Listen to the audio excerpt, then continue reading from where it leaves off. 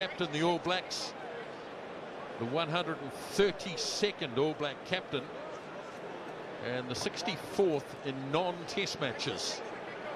Of course, harking back to the days of major tours, etc. Well, the best in the business is with us here today in Nigel Owens. Nick Berry and Ben Whitehouse are his assistant referees, and Rowan Kitt will be the TMO. So there's a lot to look forward to in this match. Atumoli for the Barbarians.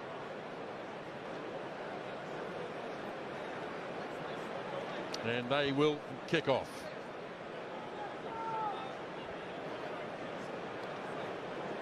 Jeff, I think you're sideline now.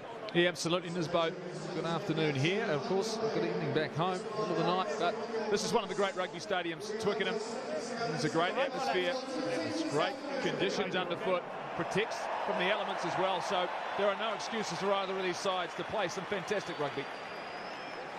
Quite a mild afternoon here in London as well as Richie Mo'unga gets us underway. And the All Blacks against the Barbarians at Twickenham, taken down by Ngani Laumape for the All Blacks. TJ Perenara, who led the haka, hands it up to Scott Barrett. And Perenara works it away, and Barrett makes the first kick. That's Beauden Barrett. And uh, up nicely taking it is Mo'unga.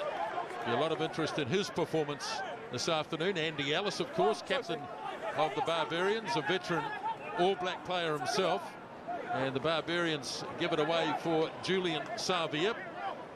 Taken down in the tackle of Anton Lienert-Brown. As Ellis hands it away again. George Bridge in the 15 jersey. Part of the winning Canterbury team in the Mitre 10 Cup just one week ago as Mo'unga hands it away. And here is Adrian Strauss.